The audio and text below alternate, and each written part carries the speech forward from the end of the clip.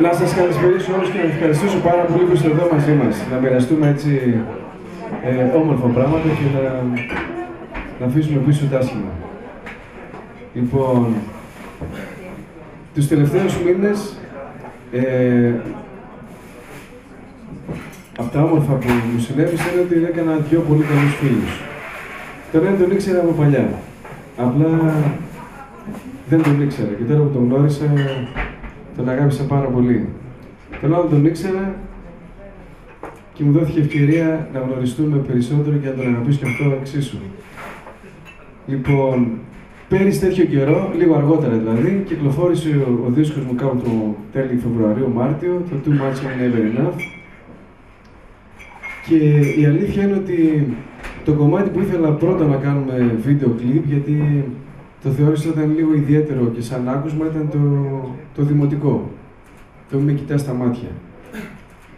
Ε, αυτή η μουσική μίξη που προσπάθησα να κάνω στα βήματα πάντα του Γιάννη του Σπάθη, για να είμαι και δίκαιος, ε, δηλαδή το υπηρώτικο του που το κάναμε σκληρό ροκ, νο, νομίζω ότι δεν θα μπορούσαμε να το ταιριάξουμε καλύτερα οπτικά με το hard rock το υπηρώτικο που για μένα και σε, ελπίζω να μην παρεξηγηθώ από τους άλλους είναι στο Πάπικο που είναι και καψούρα μου εδώ, έχω και τη με το Σπύρο.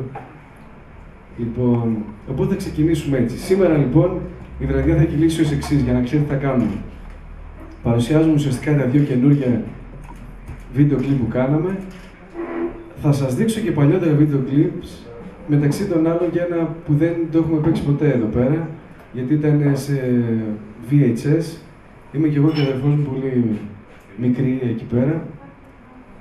Ε, δηλαδή πριν από κανένα δύο-τρία χρόνια για αυτό το.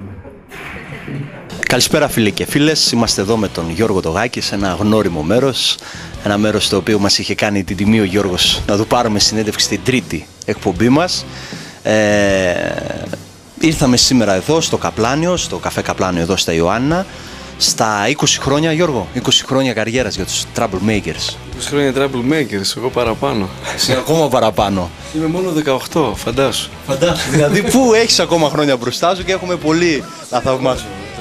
Μα αυτό είναι εκεί που χρειάζεται πιστεύω σε αυτή τη δουλειά. Δεν νομίζω ε, να χρειάζεται κάτι παραπάνω. Ήρθαμε εδώ για την παρουσίαση ε, από τα βιντεοκλίπ που έκανες για τον τελευταίο σου δίσκο, ο οποίος πάει καταπληκτικά. Ε, ένα από αυτά φτιάξαμε, έφτιαξε και ο Κώστας ο Μανταλιάς εδώ καμεραμάνο, μονταζιέρο, σκηνοθέτης και παραγωγός της εκπομπής της Rails of Music. Θέλεις να μας πεις δύο λόγια και για τα τρία βιντεάκια και για το Fame το οποίο έτσι σου προκαλεί μια ανατριχίλα να το πω έτσι ε, παίζοντας σε 20.000 κόσμο. Το Fame ξεκινώντας που ήταν και το πρώτο πρώτα απ' όλα δεν το είχαμε γράψει καν. Ήταν, ε, δοκιμάζαμε εκεί τα κομμάτια σε αυτή τη συναυλία και το έκανε ένας συνεργάτης μου Κάνα μαζί στο, τα Castle Rock με, τα, με τους φωτισμούς και αυτά και ήταν ουσιαστικά έτσι η απεικόνηση αυτής της ε, συναυλίας. Αλλά είναι ωραίο βιντεάκι. Τώρα εντάξει. Η αλήθεια είναι ότι ο Κώστας ε, έκανε εξαιρετική δουλειά. Ε, δεν νομίζω ότι χρειάζεται ιδιαίτερη διαφήμιση. Ε, εγώ απλά μπορώ από πέρα από να ευχαριστώ ότι χαίρομαι γιατί γνώρισα ένα εκπληκτικό άνθρωπο και ένα καλό φίλο και κάνα μαζί πολύ, με έκανε να αισθανθώ, ξέρεις, όταν είσαι μπροστά στην κάμερα, ε, αισθάνεσαι και λίγο βλάκας. Δηλαδή, εγώ έχω συνηθίσει να λειτουργώ στο live και να εισπράττω και τα vibes από τον κόσμο και να τους δίνω και εγώ πίσω. Ξαφνικά σε ένα κρύο περιβάλλον με δυο ηχιάκια που έχει το κομμάτι και εσύ κάνεις το χαζό και ανοίγω κλείσει το στόμα είναι λίγο δύσκολο. Ε, αυτό το ξεπεράσαμε πολύ γρήγορα έτσι γιατί ε, και ο Κώστας με έκανε αισθανθώ ε, εξαιρετικά ε, άνετα. Και γενικά η όλη του αντίληψη για αυτό που κάνει και η άποψή του είναι νομίζω ότι ξεπερνάει τα όρια ίσως και της Ελλάδας. It's not over till it's over το κομμάτι, ένα κομμάτι το οποίο είναι πιο βαθύ ε, έτσι όπως ακούγεται. Τίποτα δεν έχει τελειώσει αν δεν θέλουμε εμείς να τελειώσει και θέλεις να, να μοιραστείς λίγο μαζί μας και με τον κόσμο δύο λόγια για αυτό το πολύ βαθύ κομμάτι, κομμάτι το οποίο μας έκανε τρομερή εντύπωση μας σαν παραγωγή, σαν εκπομπή. Μου έκανε εντύπωση που σου έκανε εντύπωση. Ξέρεις γιατί; Θεωρώ ότι στο, στο δίσκο υπάρχουν κομμάτια πιο, όπως είπα, πιο κράχτες. Δηλαδή το κομμάτι που τραγουδάμε το Jolene Turner, ας πούμε, είναι το κομμάτι που ξεχωρίζουν όλοι. Ή το Mary Trouble, ή... Και όταν, όταν ο Κώστας ε, μου πρότεινε να κάνουμε αυτό το κομμάτι, λέω, εντυπωσιάστηκα γιατί, ε, γιατί, γιατί το διάλεξε. Αλλά απ' την άλλη ήξερα ότι είχαμε να κάνουμε κάτι και εύκολο εντός εισαγωγικών. Γιατί είναι ένα κομμάτι που μπορεί να παιχτεί εύκολα σε ραδιόφωνα, σε τηλεοπτικά κανάλια. Είναι μια κλασική αμερικάνικη μπαλάντα στα, στα πρότυπα των Aerosmith ή των Bon Jovi. Και χάρηκα που το. Ξέρεις, κάποιοι άνθρωποι σκέφτονται για τα κομμάτια μου. Ο λόγος που ξεκινήσαμε Γιώργο να κάνουμε αυτή την εκπομπή είναι ότι κάποια κομμάτια έχουν ε, σημασία για μας, έχουν σημασία ο στίχος τους, ο τρόπος που δημιουργήθηκαν και ο τρόπος που σκέφτεται ο καλλιτέχνης. Και ένα από αυτά τα κομμάτια είναι αυτό. Θέλω να σου το πω αυτό. Είναι κάτι με, με πάρα πολύ βαθύ στίχο και πάρα πολύ γεμάτο κομμάτι. Δηλαδή θυμίζει εποχές... Αυτό στην εκπομπή ότι το έγραψα σε, σε ένα αεροπλάνο. Πήγαινα στο Λονδίνο να βρω λοιπόν τον Gib Winger για να κάνουμε τα τα, τα λαβέρια για το δίσκο. Και το είχα στον εξής όταν σκέφτομαι ένα κομμάτι ώσπου να το τελειώσω δεν σκέφτομαι τίποτα άλλο. Όπου και να πάω. Δηλαδή αν δεις ένα βίντεο κλιπ το Want You To Want με τις Harley, τις μηχανές και τα τέτοια ε, αυτό το έγραψα πήγα να φάω σουβλάκι και το έγραψα στο χαρτί από τα σουβλάκια γιατί απλά ξέρεις δεν σκέφτεσαι τίποτα άλλος που να, να έρθεις στο, στο αποτέλεσμα που θες και το έγραψα μέσα στο αεροπλάνο πηγαίνοντας από Φραγκφούρτη για Λονδίνο λοιπόν. Ακριβώς, φοβερό κομμάτι. Όπως και το μη με κοιτάς στα μάτια. Ένα κομμάτι που για μας τους υπηρώτες σημαίνει πολλά. Η διασκευή σου είναι καταπληκτική. Είναι μία από τις καλύτερες διασκευές που έχουμε ακούσει. Όχι απαραίτητα σε δημοτικό κομμάτι, αλλά σε κομμάτι ελληνικό γενικότερα. Νομίζω ότι μας, ε, μας έκατσε το, έδεσε το γλυκό σε αυτό το κομμάτι. Βέβαια για, πρέπει οπωσδήποτε να δώσετε εύσημα στο Γέννητο Σπάθα γιατί αυτός μας έβαλε σε αυτό το δρόμο αυτός δηλαδή πρώτος έκανε το πάντρεμα της ε, δημοτικής μουσικής με το ροκ και εγώ πάτησα σε, σε ήδη ανοιγμένο μονοπάτι κατάλαβες; Και το τραβήξαμε βέβαια λίγο πιο στο χρησιμοποίησα και τις, ε, τις πλειάδες ένα κουαρτέτο πολυφωνικό στη Θεσσαλονίκη και κρατήσαμε και το ύφος έτσι το, το πογονίσιο κατά κάποιο τρόπο. και ναι, βγήκε πολύ ωραίο. Εσύ επέλεξες να πας πάνω στο Πάπικο, ένα καταπληκτικό τοπίο. Η αλήθεια είναι ότι ήθελα ή να γίνει εκεί ή να μην γίνει.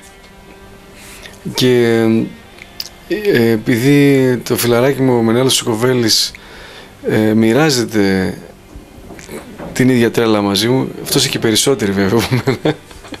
λοιπόν, ε, ανεβήκαμε πάνω σε, σε μια τοποθεσία απερίγραπτη, ε, αλλά για γερά νεύρα. Δηλαδή ήμασταν στο παραμισό μέτρο, στο χάος. Είχε επικινδυνότητα το θέμα, αν δεν πρόσεχες. Φοβήθηκες. όχι. Τα γουστάρω αυτά. Έτσι.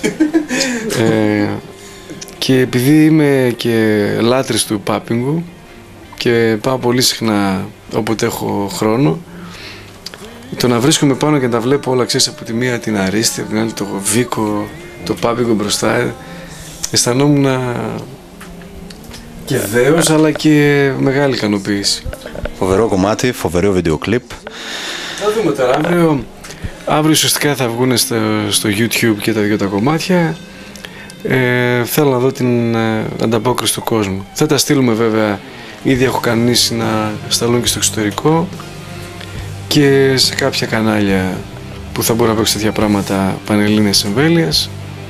Εντάξει, εμείς το διασκεδάσαμε τουλάχιστον. Αυτό έχει σημασία. Και με τα δυο τα κομμάτια το διασκεδάσαμε πολύ. Αλλά είναι και κάτι, κάτι πρωτόγνωρο για ελληνική μπάντα. Μια μπάντα troublemakers που έχουν 20 χρόνια ε, καριέρας ε, έχει καταφέρει με το τελευταίο της δίσκο ε, να κινήσει πολλά νήματα και να κινήσει και την περιέργεια και ανθρώπων που δεν είναι μοιημένοι στο ροκ. Εμείς αυτά τα μηνύματα παίρνουμε σαν εκπομπή και είναι κάτι το οποίο θέλω να πιστεύω ότι ένα χρόνο περίπου μετά την κυκλοφορία του δίσκου τα πράγματα είναι πάρα πολύ θετικά και δεν ξέρω αν έχεις βρει κάποια εταιρεία, νομίζω κάποια αμερικάνικη είναι.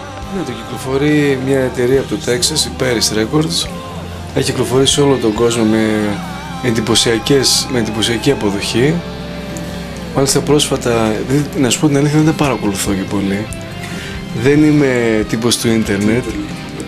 Έχω μια κολλητή μου φίλη που τα χειρίζεται όλα αυτά.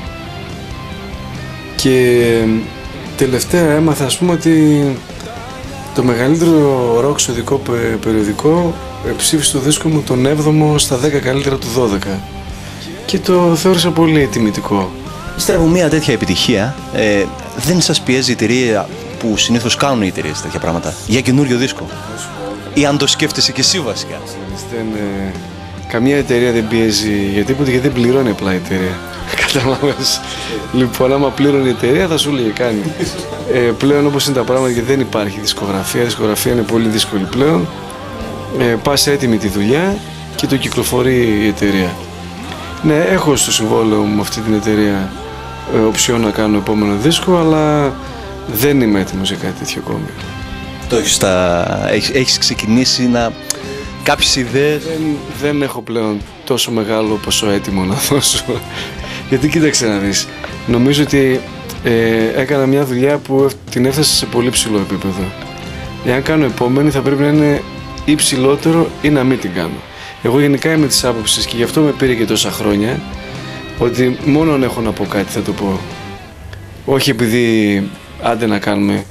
Μετά αυτός ο δίσκος μου είχε συμμετοχές που θα είναι δύσκολο να τις ξαναβρω. Δεν ξέρω, δεν λέω όχι σε τίποτα, αλλά ε, είναι νωρίς για να μιλάω για επόμενο δίσκο. Ακριβώ. Δεν θέλουμε να πούμε κάτι άλλο με τον Γιώργο, εκτός αν θέλεις να μας πεις κάτι. Ευχαριστώ πάρα πολύ που ήσασταν εδώ. Καλά, δεν γίνεται να μην είσαστε γιατί. Τιμή μας. Σήμερα έτσι κι αλλιώς. Όχι, εγώ θεωρούσα ότι τιμώ τον Κώστα ε, και τον Μενέλο βέβαια. Ε, αλλά σου όσο και λίγο περισσότερο τον Κώστα γιατί ήταν η, η διάθεσή του τόσο καλή που με, με σκλάβωσε. Είσαι και εσύ ένας άνθρωπος που παρόλο έτσι, είσαι επιτυχημένος σε ό,τι και αν κάνεις έτσι, δεν έχεις καβαλήσει τον αμανέ αυτό που λέμε, το καλάμε και είναι κάτι το οποίο το περνά, περνάς και αυτό προς τα έξω και αυτό το βλέπει ο κόσμος. Για μένα μετράνε οι άνθρωποι, τίποτα άλλο. Έτσι, δηλαδή δεν έχει σημασία ότι τι είσαι, ότι ποιος είσαι, ότι πόσα έχεις ή πόσο γνωστός είσαι. Οπότε αν, αν έχεις αυτό ως ε, κριτήριο λειτουργεί διαφορετικά. Και εμένα, ε, εγώ γουστάρω αυτή τη στιγμή που βρίσκομαι με σένα τώρα και που έχω γίνει φίλος με τον Κώστα. Αυτός ήταν ο Γιώργος Ογάκης, φίλοι και φίλες, το δικό μας παιδί, το παιδί της Υπήρου, το παιδί τη. Δεν ξέρεις τώρα. Κάνουμε και συμπεριμένουμε, ναι. Ε, τελευταία. Μακάρι. Και θέλω να έρθω, άσχετα με το. Μακάρι. Σε έχουμε συνηθίσει βέβαια και στο. στο Γοργόμελο. Σε έχουμε σταθερή Ο Γοργόμελο είναι από τις πιο ωραίες προσπάθειες που γίνονται. Ναι. Και φέτος θα ξαναπέξω. Ετοιμάζω μια έκπληξη φέτος στο Γοργόμιλο. Κάθε χρόνο και κάτι διαφορετικό από σένα. Και άλλα πράγματα ετοιμάζουμε. Θα, τα, θα σας τα πω έτσι. Άντε, μακάρι, μακάρι. Είναι, είσαι ο μόνος άνθρωπος που χαιρόμαστε να ερχόμαστε. Λοιπόν, ήταν ο Γιώργος Σουγάκης, το δικό μας παιδί, ένας, ένας άνθρωπος ο οποίος αν μη τι άλλο είναι η προσωποποίηση της hard rock, της rock μουσικής, αυτό που θέλει να πρεσβεύει rock μουσική, αυτό που προσπαθούμε να περάσουμε εμείς μέσα από την εκπομπή μας. Ένας απλός άνθρωπος με rock διάθεση και 18 χρονών παιδί, τίποτα άλλο, keep it real.